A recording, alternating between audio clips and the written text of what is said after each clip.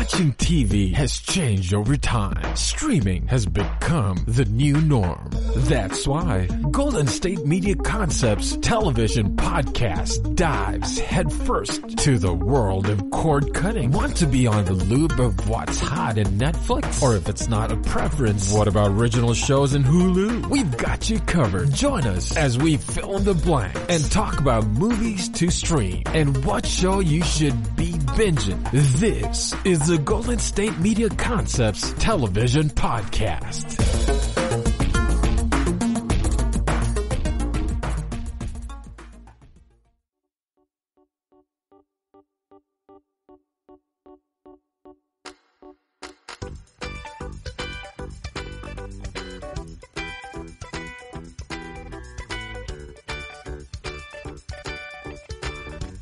Hello and welcome to the GSMC television podcast. Last week for some reason my mouth called it the GFMC television podcast.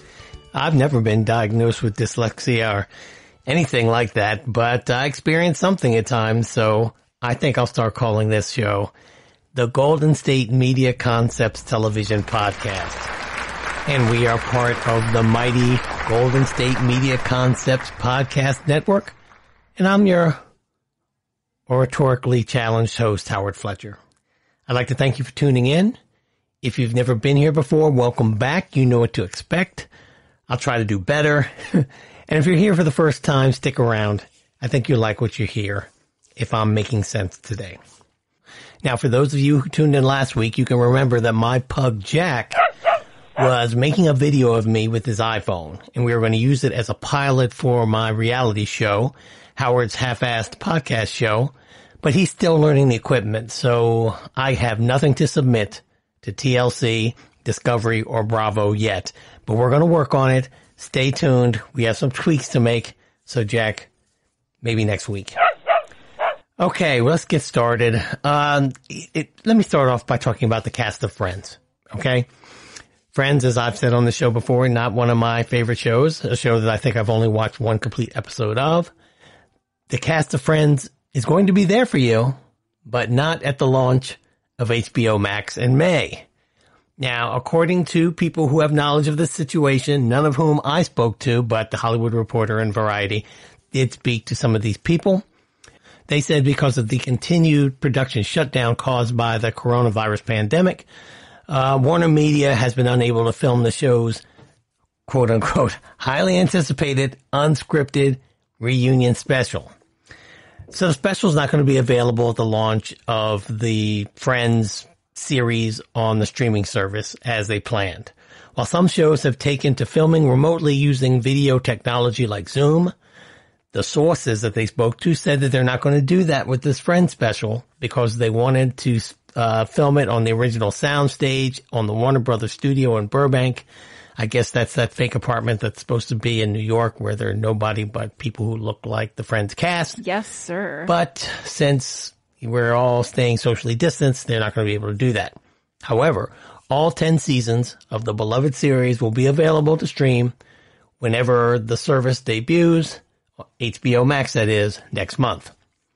Now, Variety reported on March 18th that production on the special, which was due to take place the following week, had been postponed amid a wave of production shutdowns caused by the pandemic. I told you about that on this show. The Friends reunion has been in the works for months now, but was officially announced in February. Jennifer Aniston, Courteney Cox, Lisa Kudrow, Matt LeBlanc, Matthew Perry, and David Schwimmer are all set to return for an unscripted reunion. Now, they keep calling it an unscripted reunion, so I'm not sure whether these people are going to be playing their roles in this apartment set or I thought it was just going to be like an interview, in which case interviews are usually by definition unscripted. So I'm not quite sure what's going to happen. Maybe they're just going to be doing an improv set because they're such highly talented comedians and actors. Yes, sir. Warner Media reportedly paid over $400 million for the streaming rights for Friends, and they outbid Netflix. Netflix knew what they were doing. Now, Friends has been on Netflix, so that's one reason probably why they didn't want to pay any more money. Nielsen had previously reported that the show was one of the most watched on Netflix, though Netflix does not provide any viewership data. Yeah, I I just think that if anyone was going to get Netflix because Friends is on it, they already had they already have Netflix, and if anybody decides they're going to cancel their Netflix subscription and get an HBO Max subscription because they're not going to be able to watch reruns of Friends anymore, email me for a referral for a therapist. As of this date, HBO Max does not have an official launch date. The service will be home to a wide range of programming under the Warner Media umbrella, including Friends, The Big Bang Theory, HBO series and films, and films from the Warner Brothers library. I think HBO Max is going to be one of the better streaming services. Just, I just hope no one's getting it because they want to see Friends. Yes, sir. Here's some breaking email news. I got another email from my man Tyrion Lannister from Westeros just a few hours ago, so I will read it. As a, if you're new to the show, I read all my emails. You want to email me? Email me at podcasthoward at gmail.com and I will read it. Tyrion takes full advantage of that. He writes, Howard, I'm writing you again. I wasn't planning on it, but you went on a rant about a Doogie Howser reboot last episode. No one cares about a Doogie Howser reboot. I know you seem, it seemed to irk you because you don't like reboots, but nobody cares. Just thought you ought to know. Keep up the bad work. Your level of stupidity is consistent. Fine job. Best regards, the imp. Thank you, Tyrion. I appreciate all your emails. Keep them coming, and I will keep reading them. I got another email from Jenny. Jenny's from Gaffney, South Carolina, where they have that giant peach water pump I used to pass going to college. And this is what Jenny writes. Howard, thank you for bringing up the subject of media companies creating false diversity by just painting an established white character yellow, black, or brown. I'm always pointing this out to my friends and whoever else will listen, but most people have little to say about it. It was refreshing to hear someone else has the same concerns about how people of color are portrayed in the media. I appreciate when creators take the time to create a fully fleshed out character who is something other than white, a white male, or an alien. Keep up the good work. I'll be back, Jenny. Well, Jenny from Gaffney, uh, I appreciate the email. I appreciate the compliments. Thank you for listening. I do want to say, for the purposes of this program, is that I, I do, I'm making those comments not to be a social justice warrior. This isn't that type of program. While my views and my politics probably correlate with people who identify themselves as SJWs more often than not, that's simply not why I was bringing it up. I was bringing it up in the context of creativity and audience. See, I don't want creators to get lazy, and I believe that's what they're doing whenever they're rebooting a successful series or some, one that was moderately successful and deciding we're just going to take the lead character and make them a different sex or a different color or a different sexual orientation and that'll be good. Boom. I just don't want them to be lazy because there's audiences out there like myself, like the people listening to this program who are eager for new content, who will give it a chance. And so since we're investing our time and we're investing our money a lot of times and we're paying for these streaming services, you can at least put forth the effort to do the same and create an original character with an original backstory. Don't take your audiences for granted. Just keep reaching out for the new. That's all I'm saying. That's where the best stories are found. Okay? That's it for that. Thank you for the emails. Keep on writing them and I'll keep on reading them. One of the things you might find if you listen to the show on a regular basis, which I hope you do, is that your boy Howard here can be a complete hypocrite. And so while I was just giving my soapbox speech about how to reach out for the new, I'm about to go back into the Tiger King well. Yeah. Once again, we're going to talk about Tiger King next segment.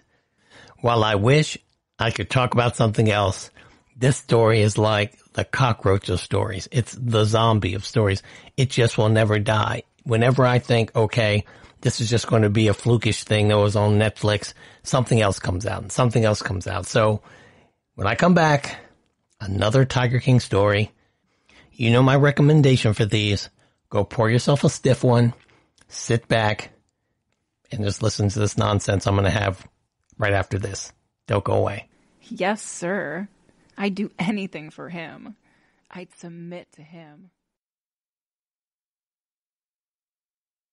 Want to know the latest and hottest music hitting the airwaves? Don't be left out. Listen to the Golden State Media Concepts Music Podcast. Keith keeps you on the loop with everything you need to know from pop, rock, hip hop, and the top 40. And we'll throw in news of your favorite artists, concert and tour dates, and so much more. Listen no further because this is the gold standard in music podcast.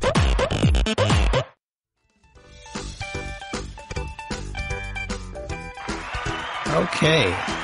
Yeah, I like spicy chicken. Ah, Mild, forget that. Okay. I am back and we're about to do what I warned you about. I'm going to talk about Tiger King. Now, John Finlay, that was Joe Exotic's first husband, I believe. Yes. The first husband we were told about as an audience when uh, in the show. He's the guy who had about three teeth. Dude was an interesting looking cat to say the least. He had an interview with Variety. So the following is going is are bits and pieces that I pulled out of the interview that are question and answers between the reporter and John Finlay, the toothless ex-husband of Joe Exotic. So here are some of the questions and answers I thought you might find interesting or entertaining, if nothing else. What do you want people to know about you that wasn't in the show? John Finlay says, I've been six years clean since that was aired. I was never married to Joe or to my baby's mama. We're engaged now. I think her name is Stormy, by the way, with an E between the M and the Y. They never showed that because they knew I was engaged at the time. They never showed the tattoo fully done. They never showed what it was like to be around the animals or anything. They just focused on the drama. Okay. Now, yeah, I will tell you what I think about his answers too.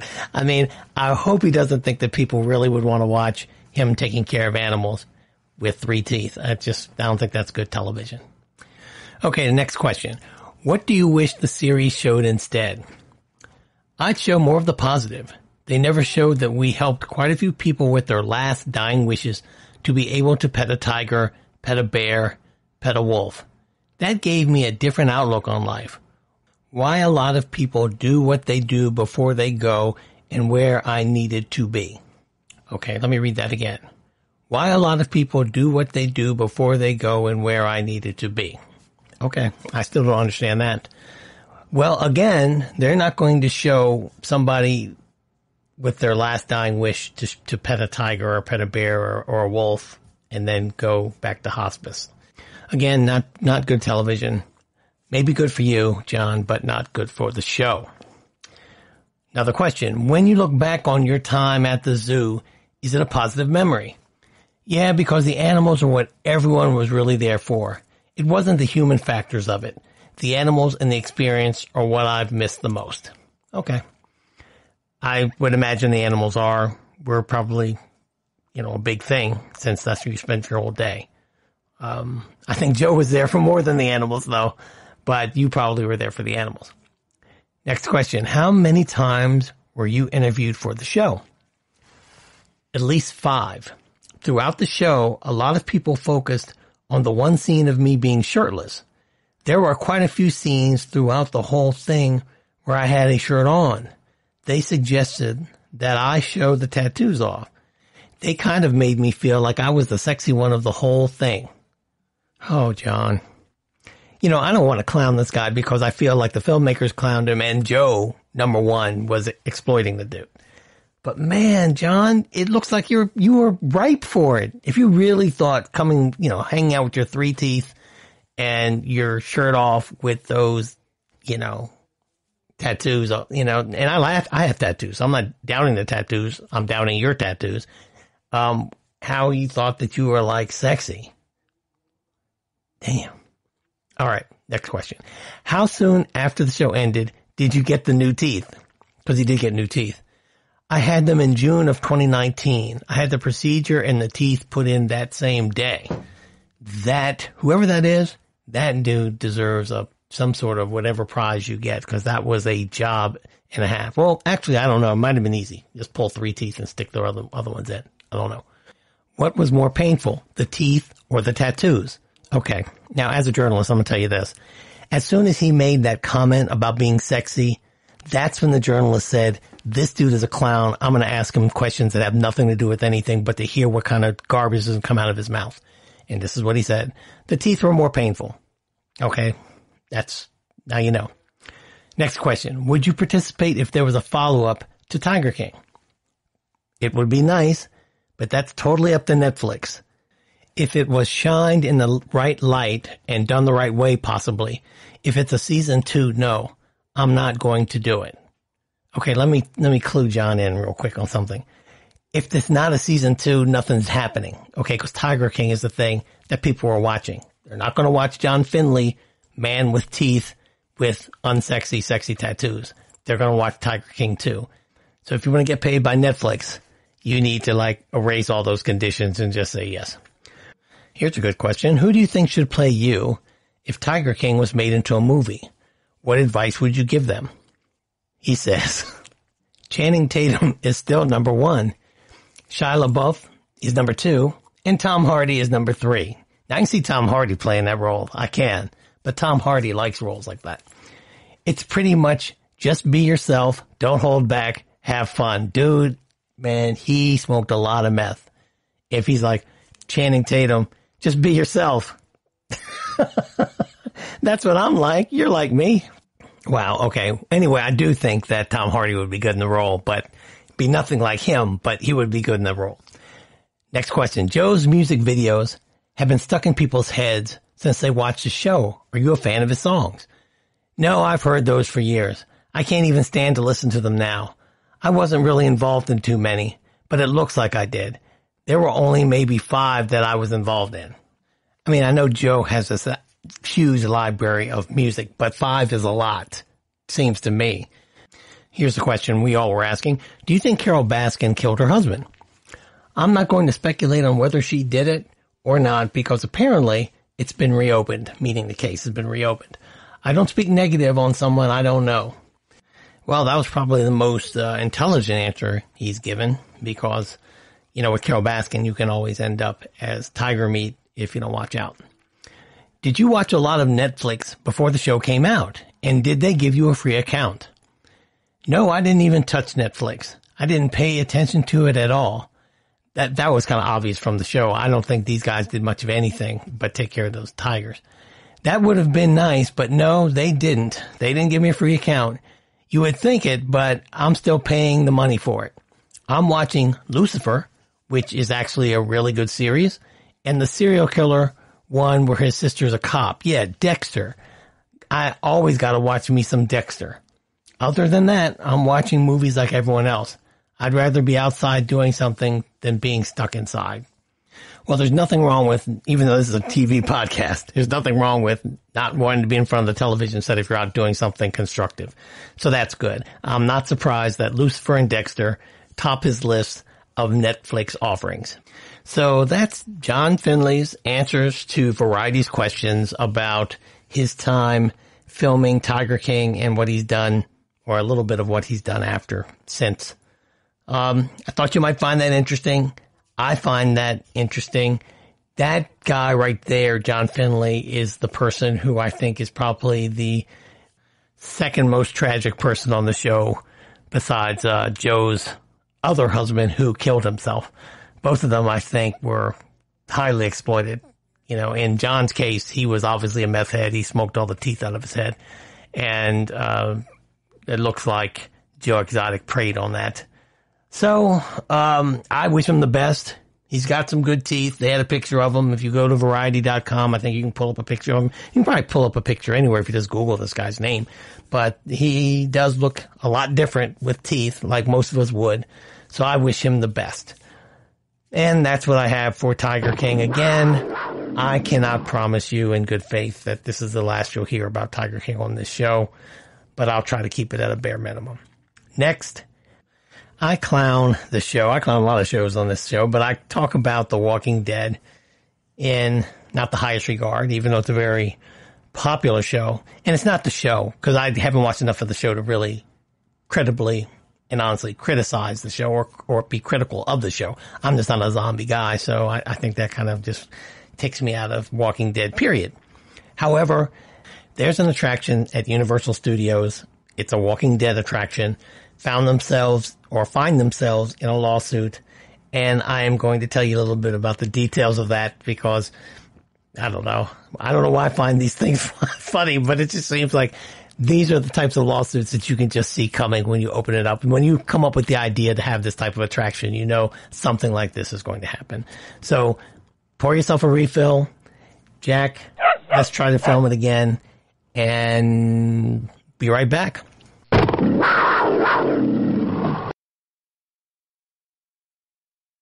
Tired of searching the vast jungle of podcasts? Now listen close and hear this out. There's a podcast network that covers just about everything that you've been searching. The Golden State Media Concepts Podcast Network is here. Nothing less than a podcast bliss with endless hours of podcast coverage. From news, sports, music, fashion, cooking, entertainment, fantasy, football, and so much more. So stop lurking around and go straight out to the Golden State Media Concepts Podcast Network. Guaranteed to fill that podcast itch. Whatever it may be. Visit us at www.gsmcpodcast.com. Follow us on Facebook and Twitter and download us on iTunes, SoundCloud, and Google Play.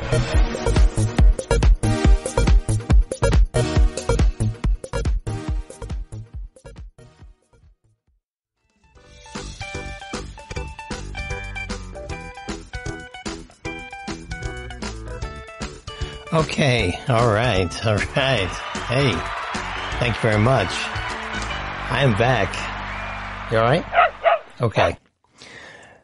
The Walking Dead is a show that has been hanging on for years and years, much like the zombies that star in it. And I've never really understood the attraction of The Walking Dead. Um, I've never really given it a chance, to be honest. I've had a lot of friends who say you need to watch the show because it's more, it has a lot more to do with it. That there's a lot more going on than just zombies and people fighting them. And that's pro- I know that's probably true. I say the same thing about my favorite show of all time, The Wire. It's a lot more, it's more than about drug dealing and the police. Like most things in media nowadays, especially if you're a television show that's been able to hang around for 10 seasons. And The Walking Dead has not just been hanging around. It, you know, one time it was the number one show on television. It still pulls in pretty good ratings. If you're owned by something like Universal Studios or Disney, they will eventually create a theme park attraction or uh, develop a video game or do both. And in the Walking Dead's case, they've done both. So along those lines, there is an attraction at Universal Studios called The Walking Dead. And an actor who worked at the Walking Dead attraction at Universal Studios alleges, and this is in Hollywood, alleges that visitors repeatedly attacked and groped cast members and that the theme park did little or nothing to stop it. Kirk Logan filed a lawsuit this past Wednesday in Los Angeles Superior Court alleging that he was repeatedly punched by theme park guests. He also said numerous female coworkers were groped and sexually assaulted. Now I support neither uh, types of assault. It's not cor- correct to assault anybody under any circumstances, whether it just be a violent assault or a sexual assault, which is also the worst kind of violence. The attraction was based on the popular AMC show. Guests walked through a post-apocalyptic environment with dark and narrow corridors where actors portraying zombies would startle them. The suit contends that Universal Studios encouraged the assaults in its marketing materials, which told visitors, prepare to fight for survival. Okay. Now, I have never worked in a theme park, thank goodness. Uh, although I know plenty of, I had friends who did, who worked at Six Flags in Atlanta, Six Flags over Georgia. It wasn't in the Atlanta city limits, but it was outside of Atlanta. And these particular friends worked in games. this is back in the 80s, early 80s. They, they worked there from high school going into college. So they worked in the late 70s, early 80s, and they embezzled money out of those games life was much different back then. I think they counted on the employees to steal some of that money. Anyway, the, the thing is, is that there were always people who used to violate the mascots at these theme parks. I had, you know, my friends of friends who worked in these places. They always have somebody dressed up as a particular cartoon character. I heard this happen a lot in Disneyland. There's always the wise guy who wants to punch Mickey Mouse or do something like that. However, they, you know, that, and that's not good, but this is not a new phenomenon. What is, I think, a little different about this situation. Oh, let me go, let me bring something else up. There are people I know who have punched people in haunted houses that come spring up like around Halloween because they got startled. And it's just almost a, natural reflex that somebody jumps out from behind a corner and you're not ready for it. If you are the type of, it's a fight or flight reflex. Some people fight, some people run, but it happens. So I think this is something that they should have been, they should have expected from jump. And in fact, if they didn't want this to happen to their employees, they should warn the guests that this will not be tolerated and they should also have people watching them. So I think the lawsuit, while I would think if I dressed up like a zombie and jumped out from behind a, a tree or something to scare them, I would be ready for, for action. Um, they still, this should not be, this should not have happened. In fact, yeah, if I was a zombie and somebody punched me, they would be prepared to fight for their survival. Anyway, Universal, according to this article, quote, Universal actually incites its guests to fight the employees, end quote, the lawsuit states. A Universal Studios Hollywood spokesman declined to respond to the specific allegations. Quote, we don't comment on pending lit- litigations. That's smart. However, the safety and security of our employees and guests is always our top priority, the spokesperson said. The Walking Dead attraction opened in 2016 and it closed last month shortly before the entire park was shut down due to the coronavirus outbreak. The suit notes that alcohol is served in the park and that guests would often be drunk. Logan alleges that a guest punched him in the face in July of 2019. In August of 2019, he says another guest punched him several times and he was ultimately prosecuted. In the, a third incident, Logan alleges a guest punched him in the stomach in January. When he reported the assault to a supervisor, he was told to take a short break and then go back to work. Okay. Logan either is into the zombie stuff so much that he'll just take personal abuse or he hasn't figured out that you jump out and scare people in a zombie costume, you're going to get punched eventually. You're going to get punched. The suit states that several female cast members reported numerous incidents when guests would grope their breasts or buttocks. On one occasion, actor Lisa Melena was in a cage and a guest reached in and grabbed her breast. She said she reported the incident to her manager who told her there were things she could have done to better protect herself according to the suit. She was in a cage, dude. Plus, it should never have happened. Another cast member, Josiah Steele was hospitalized after a guest punched him in the face in July 2019. A lot of stuff happened in July 2019, knocking him to the ground, according to the suit. Steele complained to Human Resources and wanted to pursue pros- prosecution, but was told that most performers don't press charges, the suit states. Wow, they just said, suck it up, dude. Steele had complained two years ago about the situation and had asked for changes to protect the employees, the suit states. My question is, all right, number one, let me get this straight. Number one, this should never have happened. These guests of the park were out of line. They shouldn't go in there hitting the, the employees, and they definitely shouldn't be groping the female, well, any of the employees, but the female employees especially. That's just ridiculous, and those guys should be prosecuted. Those are jerks.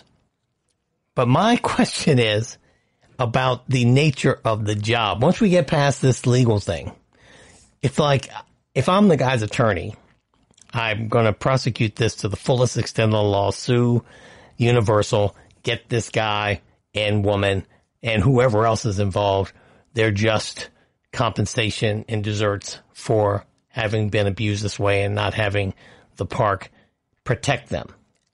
After that, after I get my fee, I'm taking them aside and saying, what in the world did you expect to happen? If you're jumping out at in mass, I mean, if you, I would imagine, I'm surprised they didn't get punched every day. Okay, that's that's what I'm saying. I'm I'm the groping. That's some stupid, childish, perverted stuff that should never happen. You can't credibly say I was scared into groping her. I was startled, so I grabbed her buttocks. That all of that stuff is way out of line. However, I'm I you know I'm not a violent person. I truly am not. However, I cannot say that 100% of the time if I'm walking through Walking Dead land and somebody jumps out with a decayed face and scares me, I don't do something to get that person away from me. And it may end up being something like an act like a punch or a shove or something like that. It seems like that is what they're encouraging to happen. This is a, and, and, and, like a long story short, this attraction is a terrible idea. I know it sounded good, but unless you have people sign waivers on both sides, you're going to get a lawsuit just like you got right here because somebody is going to hit somebody else. Period. It just seems like that's the way it would go. Especially when they say that, you know, exactly like the lawsuit said, especially if it's marketed like you're going to fight for your survival.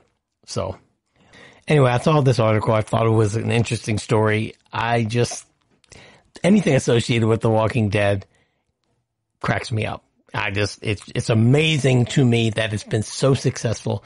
And again, I applaud the people. I applaud them who have been doing this.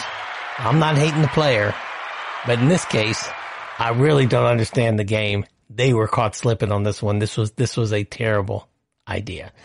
Next, I'm going to talk about the long-term effects of this recession on our viewing habits and what might happen to the industry. Get another drink. Don't go away. I'll be right back.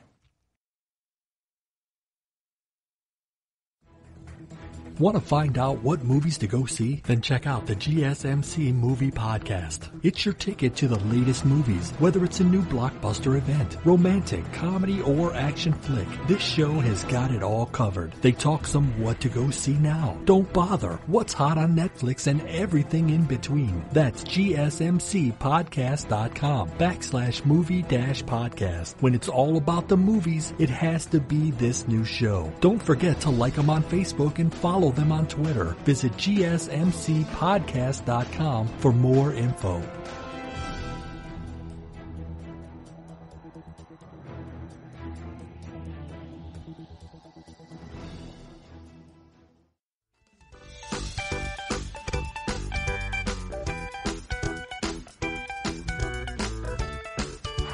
Okay. Y'all all right? You washing your hands? Did you wash your hands? We are back. And this whole COVID-19 situation that we find ourselves in has changed the way we go to live our lives day to day. We're all stuck in the house. As we've discussed on this show, many of us watch more television. But the question in the future is going to be is how we are going to get or choose to get our TV because our habits have changed in this short period of time.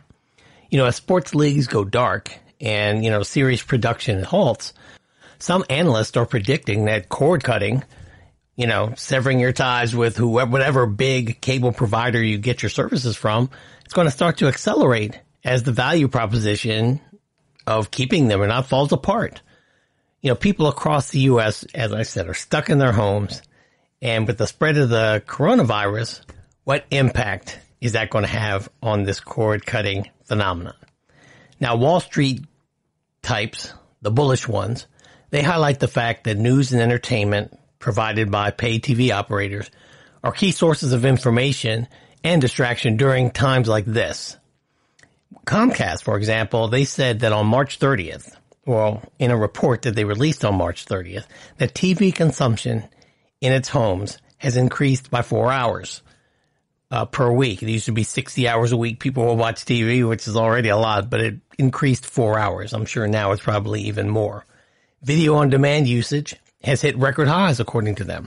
Now that increased usage could potentially slow down the exodus that a lot of people had been making from pay TV. They uh, had suffered a lot of subscriber losses and in 2019 they hit an all-time high. 4.9 million people left their providers like Comcast or Cox or Verizon or DirecTV.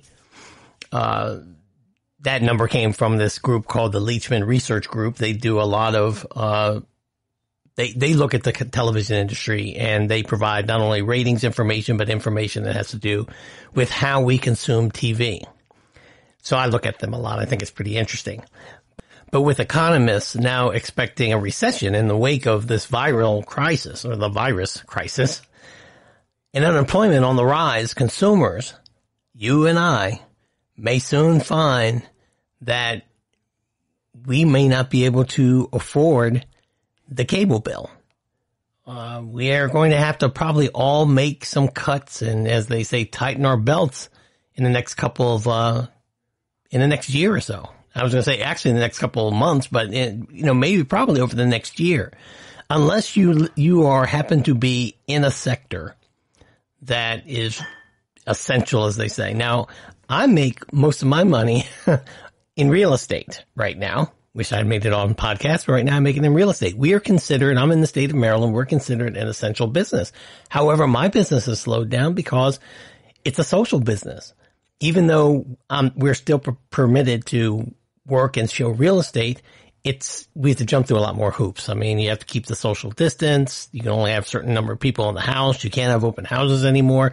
All of these things have affected my business in a negative sense, meaning it's slowed down and I will probably make less money this year than I've been used to making. So, uh, even though I am, I'm in an essential business, I'll have to make some decisions, some budgeting decisions. That doesn't count the people that have totally lost their jobs. Some people are going to have no income except for these stimulus checks or unemployment insurance or a job that's going to make them less money than they were making before this viral virus outbreak. So, uh, what or what's it going to look like? Where are people going to get their television? Now, the fact that sports leagues and TV show production has also been put on hold will make pay TV even seem like less of a value compared with alternatives like streaming. You know, that's that's something that I never really thought about. I, I guess consciously was that because I still have Verizon Fios. That's my cable provider and it's expensive. And I've been considering cutting the cable several times. One of the things that I, I was taking into consideration, I, I don't want to say it was number one, but it probably was up there and I didn't realize it was that I had access to sports. Now news, I like to try to pretend like I'm more cerebral. So I say, oh, well, I want local news and I want this. And like, you can get local news from other sources, but it was just much more easier. You can tell I'm cerebral because I say more easier. Uh, it's much easier to get it from the cable provider. But most people kept their cable service or DirecTV that have these packages where you have the NFL package or Major League Baseball or whatever because they wanted access to those sporting leagues. Those leagues are no longer around right now. And we don't know when they're going to get back to normal. So now you're paying a big bill every month for entertainment that's not being provided to you. So people are going to start cutting the cord, as they say. Comcast also said in that March 30th report. Now understand March 30th again, even though we were in the coronavirus uh, outbreak, you know, we weren't at the place where we are now where every state in the union has been declared a disaster area and almost every state has stay at home orders. That wasn't the case on March 30th. Back in March 30th, they said that video game downloads were up 50% and that streaming and web video consumption had increased 38%. But that was back then and this is now and now more people have lost jobs and more things look more dire in the short run. Some people on Wall Street, they've increased their pay TV subscriber loss forecast for 2020. They thought it was going to go up because it had been going up from the 4.9 million that were lost in 2019. Now they think it's going to be even greater than that in 2020. There could initially be some benefit from the fact that people have been stuck at home and that they are glued to cable news, but it won't last. MoffettNathanson analyst Craig Moffett tells the Hollywood Reporter the financial pressures of the COVID recession will inevitably push consumers to economize, so cord cutting will accelerate. That will only be exacerbated by the lack of sports programming. Sports are the glue that holds the bundle together. Without sports, the value proposition for pay TV starts to fall apart. End quote. And I totally agree with that. That's what I was just saying. And I think that people are going to start dropping their cable bills. I mean, I was contemplating this long before I even, even thought a pandemic was in the, in the realm of possibility. And it was because the alternatives seemed more attractive. You know, do I really need to, I don't really find myself watching sports from play ball to the last out anymore. I don't. So I was wondering what's, if it's valuable enough for me to, to be paying that. And would I rather have HBO Max when it comes out? And those are the things I was weighing before this. And I think a lot of the market was the same way. Cable operators have a new core business and that's broadband. And that is likely to benefit from the coronavirus pandemic because when you cut the cord, you're going to have to stream. So as internet connections are enabling work through Zoom and entertainment for uh, more entertainment options for people that are stuck at home, usage of Netflix, YouTube, and other streaming platforms has jumped during this time. So uh, I've been, you know, I, reason I'm going over this is because I could relate to this stuff because while the cable that I get from Verizon Fios has been adequate, there are times when I wish I had a little bit more uh, speed. So I would think rather than uh, purchasing another pay channel, I would drop the pay channel and increase my internet speed and, um, you know, just benefit from some of these other alternatives. You know, some of these experts have argued that broadband providers could see more pricing power after this crisis. So you might find that you're going to be paying more for broadband too, just because the law of price and demand. I don't see the demand for broadband or data consumption lessening in a meaningful way post COVID 19. I don't. So I think that's going to be the state of the market in the short run and probably evolving into most of the people streaming than not streaming in the long run. So that's my little update of the market. It's something to think about as you decide what you're going to do in the future about how and where you get your television or your home entertainment. Next, I'm going to talk about, guess what? Television on broadcast. I have a list of the shows that uh, got renewed for next season and those that got canceled for next season. And if I have enough time, I'll go over a list of some shows that you might watch that we don't know what's going to happen. And I'll tell you what I think is going to happen based on what I know. And we'll be right back with that. Stick around. Thanks for listening. Go get a drink. You ready, Jack? Let's do it. Golden State Media Concepts Sci-Fi Podcast. Together we dive into the world of sci-fi and science fiction. From episodes of Star Trek, Star Wars, to The Walking Dead, Resident Evil, all the hot new science fiction movies from the back doors of Marvel or DC. The Golden State Media Concepts Sci-Fi Podcast. You'll never look at science fiction the same way again.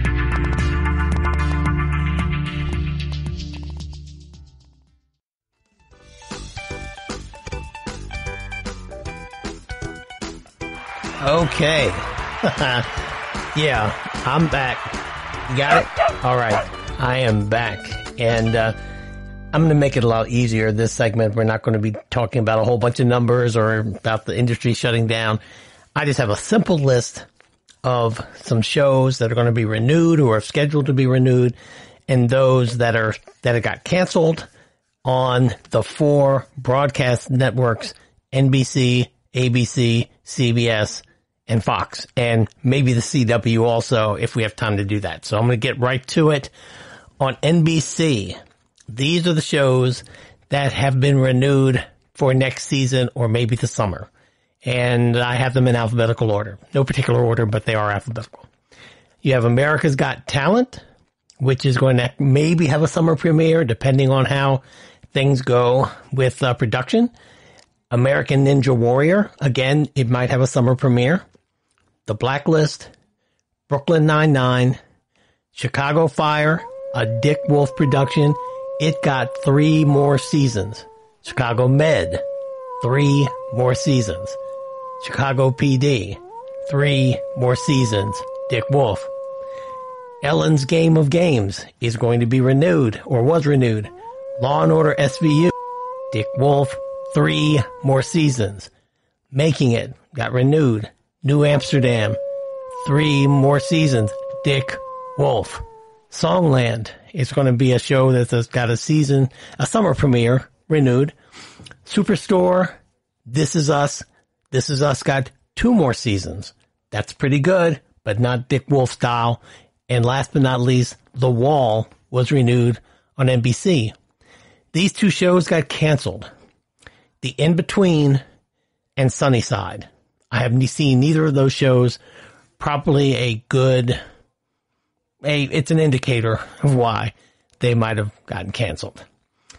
Um, one show that's moving to the Peacock, which is going to be their streaming service, is AP Bio. Another show I've never seen, but it's now it's going to be on their streaming service. Three shows that are ending. They had their series finales. All of them were successful. The Blind Spot, The Good Place, and the reboot of Will and Grace. All of them are ending. Now we're moving to ABC. These shows have been renewed the $100,000 pyramid. This is another classic Dick of, well, this, he's no longer with us, but he started the show, Mr. Dick Clark. So when you call somebody a dick in the TV industry, it is not an insult. America's Funniest Home Videos. The cockroach zombie of television still around. The Bachelorette. It's currently on hold. They want to premiere it this summer, but it's coming, it's coming on your TV soon. Bachelor in Paradise, uh, another Bachelor spinoff. Uh, it's, it's a summer premiere, currently on hold as well.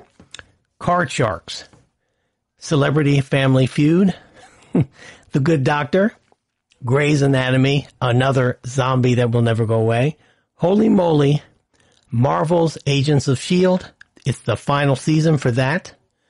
Match Game, Press Your Luck, Station 19, which is a spinoff, I believe, of Grey's Anatomy, and to tell the truth that I didn't know that they had brought back, but they did, I guess. Those are all been renewed.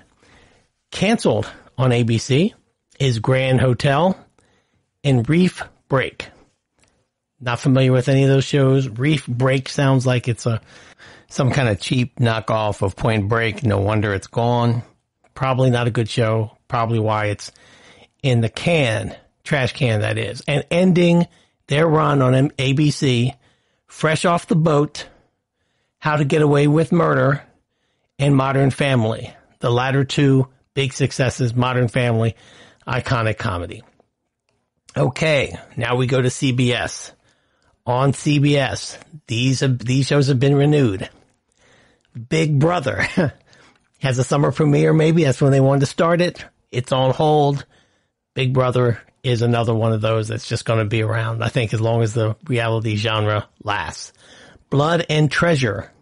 Summer premiere. I'm assuming that's a reality show. Not familiar with Blood and Treasure. CBS show. Evil, a show that has my boy Mike Colter from Luke Cage. And Katja Herbers, I believe is how you pronounce her name. She plays, uh, she's from Westworld. She played, uh, William the Man in Black's daughter, who he shot down in cold blood but she did a great job. Never seen that show, but I like the actors who star in it. Love Island got renewed, summer premiere, supposedly. Mom was renewed. Young Sheldon was renewed as well. That show looks annoying to me, but it gets pulls good numbers, so God bless them. And so far, CBS has canceled none of their shows, uh, but there's a long list of shows I'm looking at. I don't have time to go over of 20 to 25 shows that uh, a good percentage of, in my opinion, probably will get canceled, but they need to keep something on the air, so not all of them will get canceled.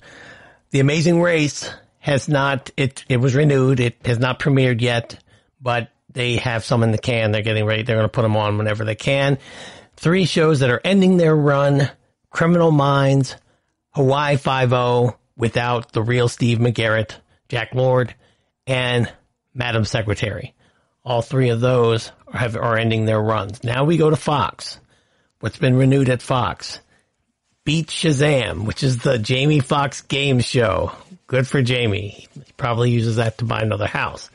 Bless the Harts, Duncanville, Hell's Kitchen, The Simpsons. That is the ultimate zombie of all shows. That will never go away, I think, unless they just get tired of drawing them. And So You Think You Can Dance, which was also scheduled for a summer premiere. Who knows when it's going to be on now. Canceled, Almost Family. That was that horrendous show about the doctor with the frozen sperm babies all over the nation, or all over the world, I guess. BH 90210, which I guess is the reboot of the reboot of Beverly Hills 90210. That's going to the well one too many times, canceled. And Deputy, which I talked about last show, a formulaic cop procedural show that could have been pulled off by Dick Wolf, but it gets canceled in other people's hands. Some shows on Fox that haven't premiered yet, but they're returning are Filthy Rich, The Great North animated show, Mental Samurai, Next, and Ultimate Tag. All of those are going to be coming, but the date has not been set. The Orville was moved to Hulu. That used to be on Fox, but now it's going to be on Hulu for those of you who have it. And the show that's ending its run on Fox is Empire. Thank you very much, Fox. Thank you for taking that show off the air. Finally. Last but not least, the CW. I don't have much time left, but I want to say this is what I like about the CW. They know what kind of shows go on the CW. They're not great shows, but they're entertaining. They have about the same flavor. It just depends what kind of what kind of show you want to watch, whether it's a soap opera show or a, a superhero show. But anyway, here are the shows that are being renewed: All American, Batwoman, Black Lightning, Burden of Truth, Charmed, DC's Legends of Tomorrow, Dynasty, The Flash, In the Dark, Legacies, Nancy Drew, The Outpost, Pandora, Riverdale, Roswell, New Mexico, and Supergirl. All of those shows have about the same flavor, just different types of protagonists. And that's why I like the CW. They know what they're doing. They're not trying to break any records. They're just putting out content that people will watch when they want to kill 60 minutes of their life. Canceled. Nothing on the CW has been canceled yet because they have some, they have, uh, they have shows that people like, you know, for what they are. Anyway, ending on the CW, three shows, the 100, didn't watch, Arrow, I did watch. I thought it was a good show. A couple of the seasons were kind of lame, but all in all, very good show all of those superhero shows that I named previously were spin-offs of Arrow. So if that tells you Arrow was a great foundational show, people went for it who were acting on it. I give it much respect, even though it's not for everybody. Last but not least on this list, Supernatural is ending its run. Had a good, respectful run on the CW. Didn't watch it, but I guarantee it's a lot like All American or The Flash or anything on CW, on the CW, except for it dealt with witches. So, all right, that's it for this segment. I hope you found it informative. Hope that'll help you set your broadcast viewing expectations for this season coming up whenever things start rolling again. But next, we're going to go over episode five of season three of Westworld entitled Genre. Don't go away. We'll be right back with a few hosts in Westworld. Are you tired of the same old news? Are you sick of the seemingly endless political spin and negativity? The GSMC America Still Beautiful podcast is a weekly news podcast covering all the top positive and uplifting news stories. We cover stories that will inspire, uplift, and remind you of the good in the world. Tune into the Golden State Media Concepts America Still Beautiful podcast to get all the great and positive news stories of today. Download the GSMC America Still Beautiful podcast on iTunes Stitcher, SoundCloud, Google Play, or anywhere you find podcasts. Just type GSMC in the search bar.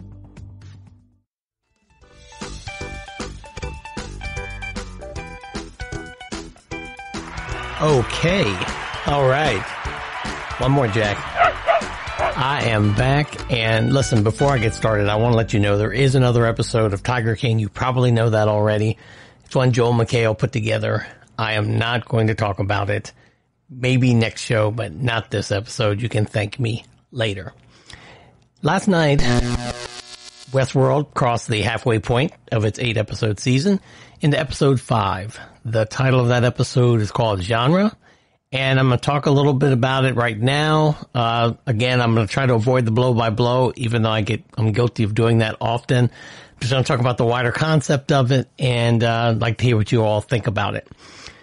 The name, the name of the episode genre is the name of a designer drug that Liam was given a dose of from his friend at the Eyes Wide Shut auction orgy show last episode. However, Liam didn't have an opportunity to take it before he was kidnapped by Bernard and Stubbs, and ultimately he was scooped up by Dolores and Caleb.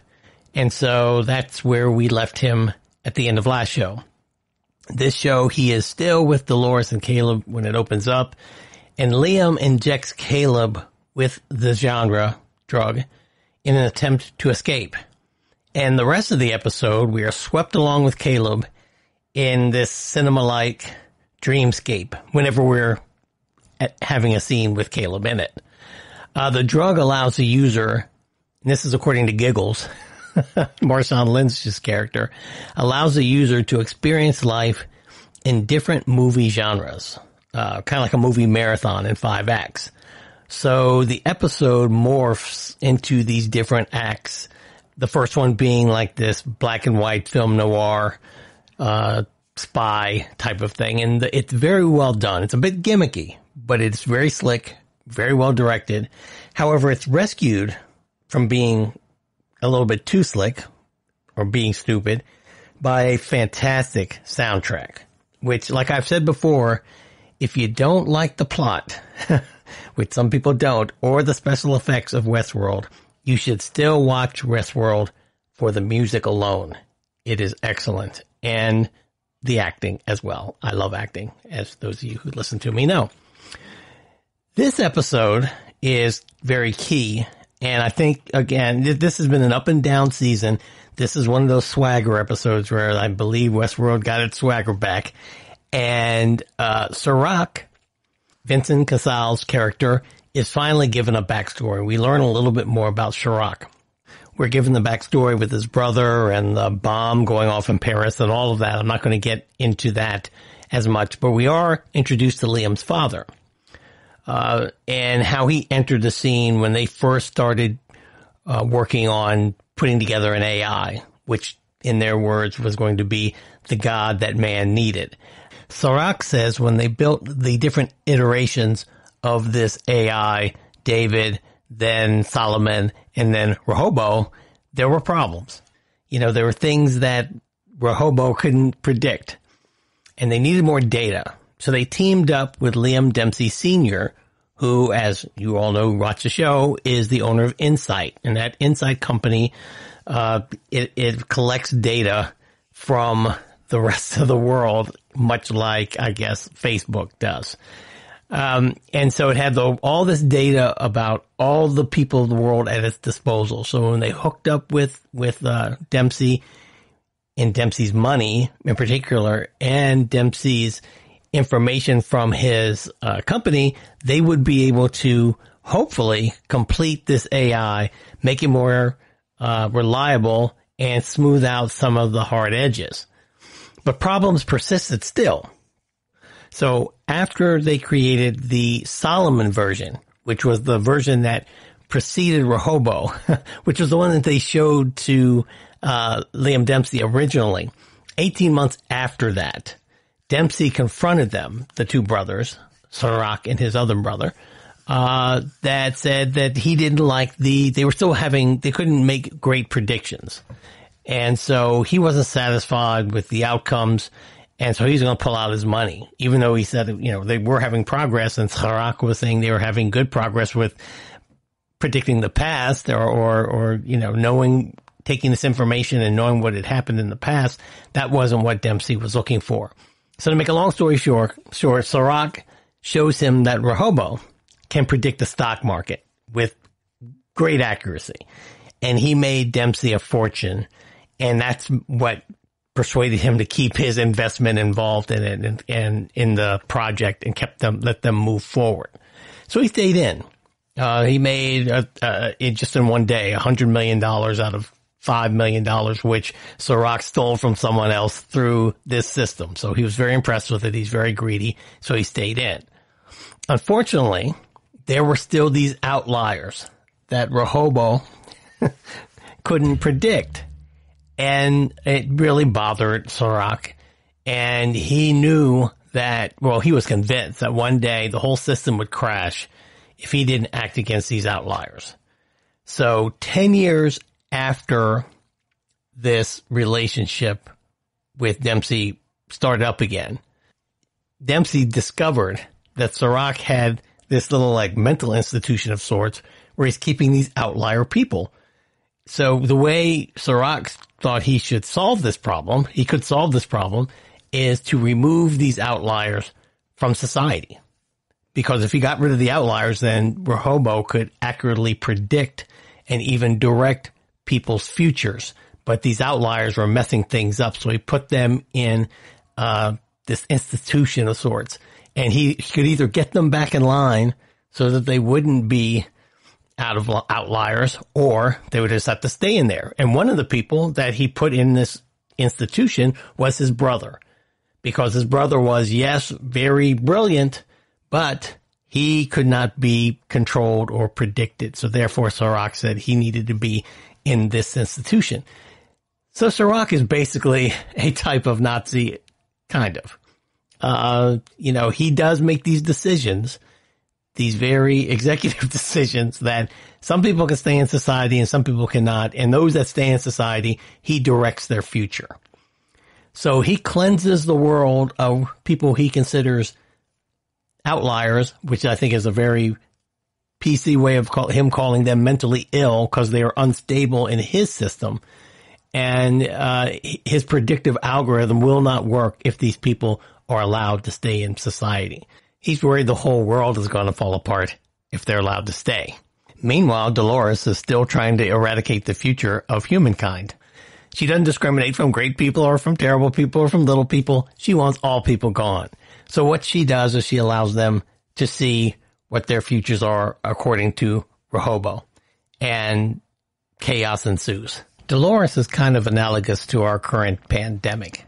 She is the virus that is trying to wipe out the world. I'm not trying to be over dramatic. I'm just trying to put it in place where you can kind of relate to it. Dolores is finding, at least in her plan, I believe in spreading this truth and how these, how you've been manipulated, society's been manipulated by Incite and Rehoboam that they will fight back against it. And we start seeing the beginnings of that during this episode. Uh, Bernard is still in the mix. He thinks he's part of this plan. And Stubbs, as I predicted last year, last week, he does show up and save the day. At the end of episode five, it well, it, it's clear. One one thing is clear at the end of episode five, as far as I'm concerned, that Dolores's motivations and Serac's motivations, whether you agree with them or not, or what they're doing or not, their motivations are pure. Serac thinks he's doing something that is going to be, that's in the best interest of the world. Dolores, even though she is motivated by vengeance and she is very upset at mankind, she sees mankind as, as a disease and that she thinks exterminating them would be the best thing. So the show comes down to who will control our future. Dolores, the man-made virus, or the tech billionaire who thinks he knows what's best for everyone else. And in the middle of this conflict is the poor everyman Caleb, who we're learning is more than he appears to be as well. So that is it for my recap of Westworld episode five. Thought it was a good episode. I would encourage you all to watch the show. Just watch it. And that's it for this episode. of the Golden State Media Concepts television podcast. We're part of the mighty Golden State Media Concepts podcast network. I want you to please follow us on Instagram, Twitter, and Facebook. If you would, please go to iTunes or especially to Apple Podcasts and, and subscribe. Please give us a five star rating. Mention me in the comments if you will. Email me at podcasthoward at gmail.com. Take care of yourselves. Stay inside wash your hands, wear a mask while shopping, and I'll see you next time. Thanks for listening. See you next time. Bye bye. You've been listening to the Golden State Media Concepts television podcast, part of the Golden State Media Concepts podcast network. You can find this show and others like it at www.gsmcpodcast.com. Download our podcast on iTunes, Stitcher, SoundCloud, and Google Play. Just type in GSMC to find all the shows from the Golden State Media Concepts podcast network, from to music, from sports to entertainment, and even weird news. You can also follow us on Twitter and on Facebook. Thank you, and we hope you have enjoyed today's program.